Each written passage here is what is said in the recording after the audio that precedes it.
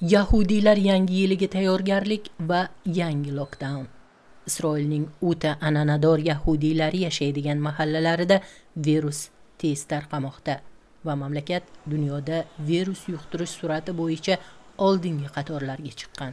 Sinagogalar din qatlamining yuragi desa bo'ladi.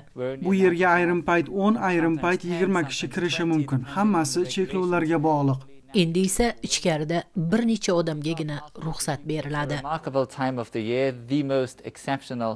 Bu yilning yahudiylar uchun aziz kunlaridir. Odamlar o'z oilalari bilan sinagoglarga kelib ibodat qilishlariga imkon bo'lmayapti. Uyda qoling. Bu hukumatning xalqqa aytayotgan gapi. Salomatlik uchun yana bir karantin mamlakat iqtisodiy inqirozini yomonlashtiradi. Ishsizlik rekord darajada yuqori.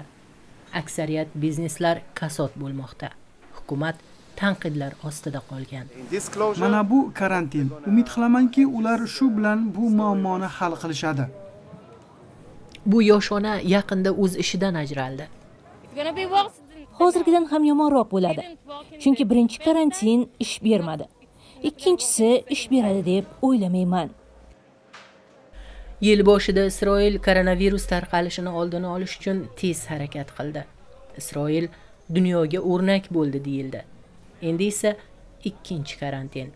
Aksariyat davlatlar esa bu kabi holatga tushmaslikka umid qilishmoqda.